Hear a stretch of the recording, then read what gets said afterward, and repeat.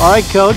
Another successful uh, dual outside in the books. This was a little different. Last year was was at night.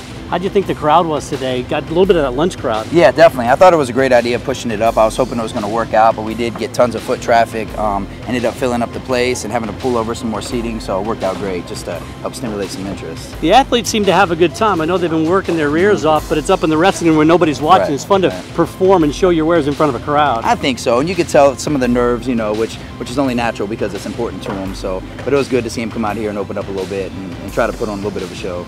Yeah. Now, anybody impress you here, or was it pretty much what you kind of thought it would be? Yeah, about what we thought. You know, a um, couple surprises. You know, I, I think the first weight cut always, you know, always hurts a couple guys, and, and so we definitely noticed that. And hopefully they'll be a little bit more diligent here throughout and, and making their weight decent. But other than that, I think it was just a good showing. Well, you're kicking off your first year here. How exciting will it be to get these guys at GC Arena on the 22nd for the first home match of, of your career here? Oh, oh, for sure. Yeah, we're, we're super excited to get into the big bowl. We're gonna see how many see how many uh, seats we can fill there, and you know, with that first match, we only have one this first semester on November 22nd. So we're gonna we're gonna work hard to promote that, even though it's right before right before the break. Hopefully, we'll still have enough people around. Well, hey, thanks a lot, Coach, and good luck on the rest of the Absolutely. season. Thank you. If you want to follow the GCU wrestling program, go to gculopes.com, and don't forget to follow us on Twitter at GCU underscore Lopes.